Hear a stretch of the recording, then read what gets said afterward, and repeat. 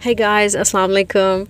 Welcome to my um, YouTube channel, Wandering Soul Food Vlog.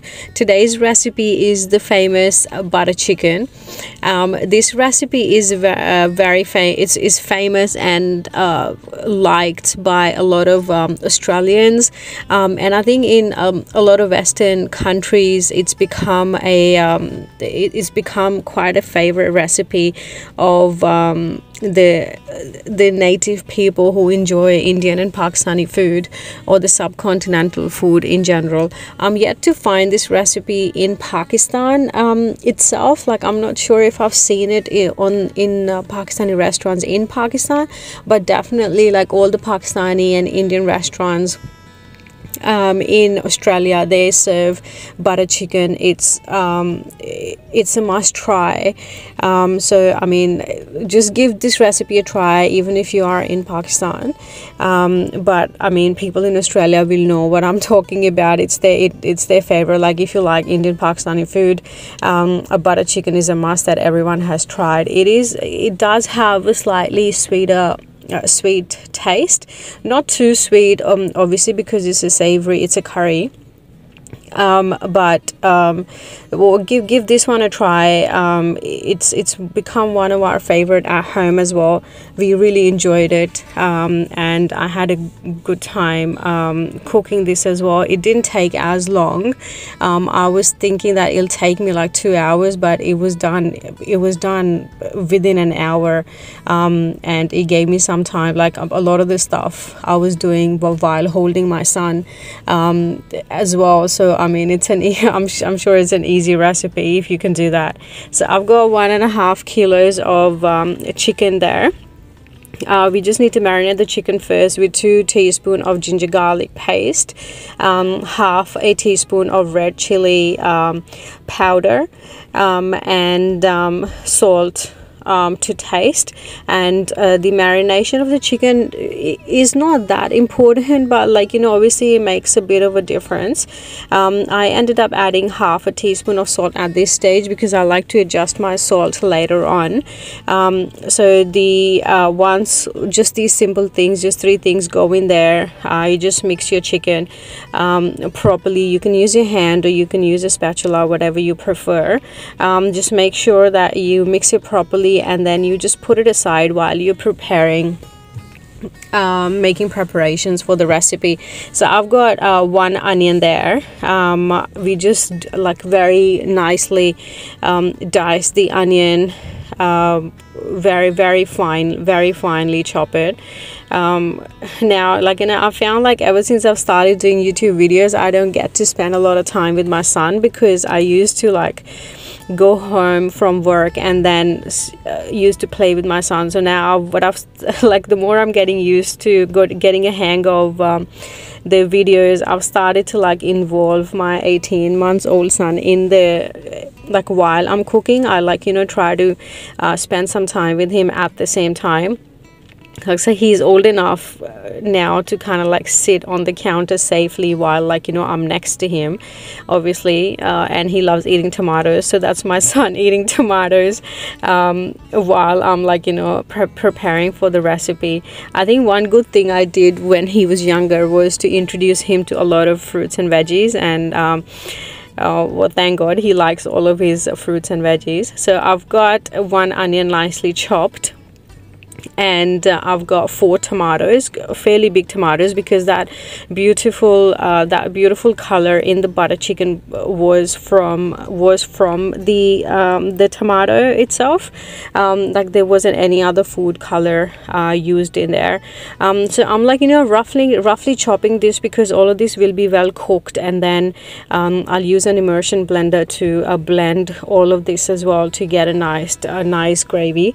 I've got um, four tablespoon of butter there two tablespoon of cream and I, am just trying to take all the ingredients out um, for my ease but I'll explain to them as I put them um, in in the pot. So the pot goes on the um, uh, on the pan like the pan goes on the stove and the uh, one one well less than I used half a cup of oil um, I try not to use that much oil if I don't have to and the marinated chicken goes in there. So we just like you know cook this chicken nicely and give it a nice sear um, for like 20 minutes to 30 minutes. We don't want to fully cook it because then like we do want to leave it simmering in the sauce as well but just give it a nice uh, nice sear on all sides. Just like uh, just wait until it's nicely brown. Uh, I'd say about 80% when it's about 80% cooked. Um, this is um, this is an important step like you know the, the sear as i've explained before the sear on the recipe on, on the on the meat is um, gives a lot of flavor. So i've done that like you know sauteed it for about like 20 minutes um, and then i'm just taking the um, chicken out. Um, you can just use the same pan to do to do all of your cooking um, and then i'll just continue with my cooking in the same pan. Um, so just make sure all the chicken comes out. Um, obviously they're big enough pieces so we won't forget any in there. We don't have to worry about that. Um, but the chicken comes out um, and then we'll just um, continue cooking in the same um, oil um, that we had. So the uh, chopped onion um, goes in there uh, very finely chopped onion.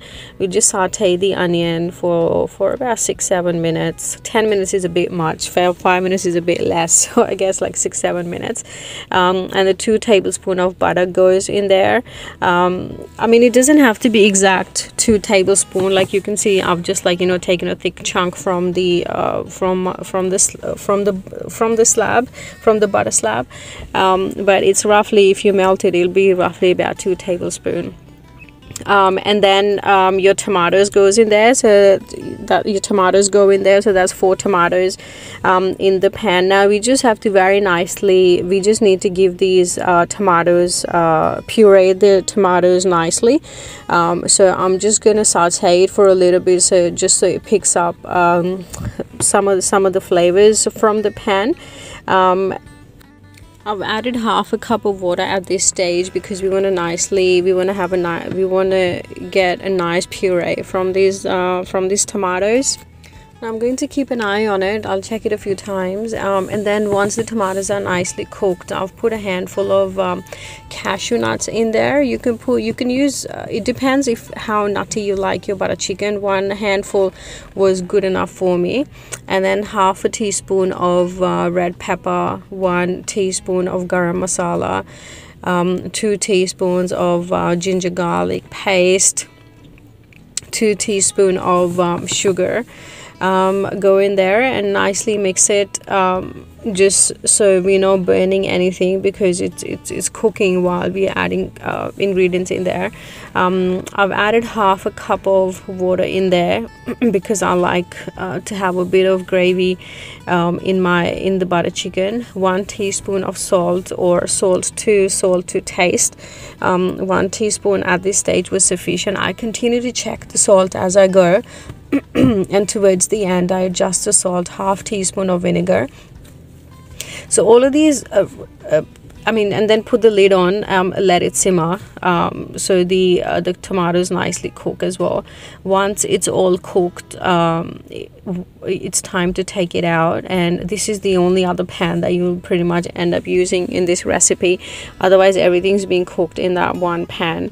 It's quite easy that way. It's less dishes, the better. Um, so just um, take um, all of that out um, we're going to use an immersion blender to blend it. You can use whatever blender you have at home. Um, like it doesn't have to be an immersion blender but it it does need to be blended um, nicely. Um, just taking my time taking everything out I just like to make sure um, that I'm not missing anything in there so like I said we just need to blend um, this very nicely. I've got my son there helping me blend uh, blend it and turn it into a nice uh, puree.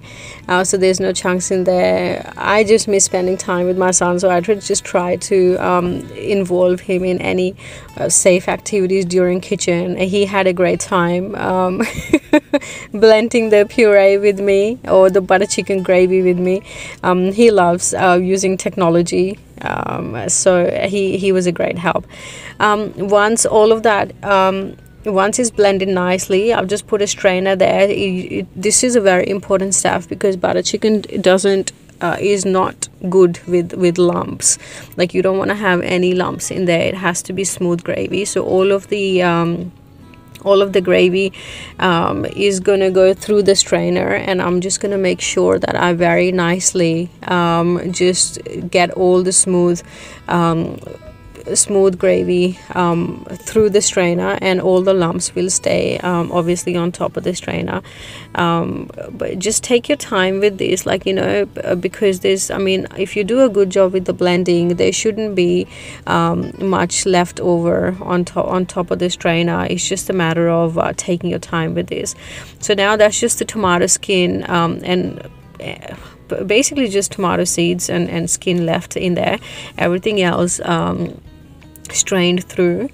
Um, just um, heat it up a bit because um, I mean after blending it, it, it won't be it, won't be as hot um, anymore. So once it's hot enough put two ta two tablespoon of butter um, in there again because it is butter chicken. So it, it does um, take a bit of butter I mean obviously you can cut on butter if you're trying to be healthy uh, just two tablespoon is sufficient for the recipe but I've put four in there to give it nice flavor.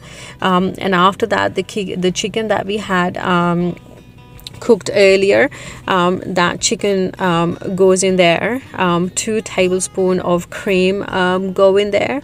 Um, a, a, lot of cream is really not needed like two tablespoon um, I found was was sufficient. Uh, I mean you can put more if you want to make it creamy but this was sufficient.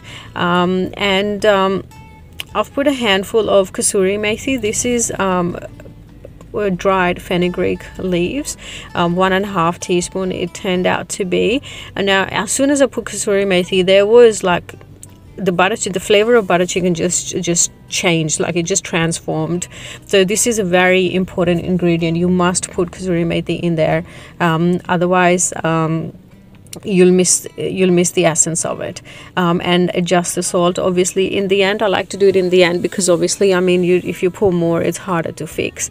Um, and that's pretty much it. Like after you put the kasuri methi and adjust the salt you just put the lid on let it simmer for a little bit. It's ready to serve. There you go. Like literally no color. I didn't have to put any food color or anything. Like you know that beautiful color. There's no filters on this. Um, so this was the color of my butter chicken just from the tomatoes and the spices that we've used. Um, my husband loved it. I loved it. Even my son loved it like 18 month old son. Like he just enjoyed the flavors in it because it, it was not chili it was slightly not sweet but we, we did put two teaspoon of sugar in there. Um, so it, it was it was something that kids will like. Um, so if you're having troubles with your kids trying uh, pakistani food i think this is one of the dishes of one of the recipes to try. Um, give it a try. Um, my friends in australia um, are used to eating it. My friends in pakistan i would recommend um, just give it a try so you can get a flavor. Um, you can get a taste of it see what it tastes like alright guys i hope you guys um, like this video.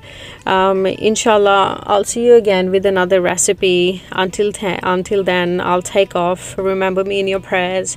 Uh, take care of yourself. Thank you for spending this time with me. Inshallah see you again with the next recipe. Assalamu alaikum. Allah hafiz. Bye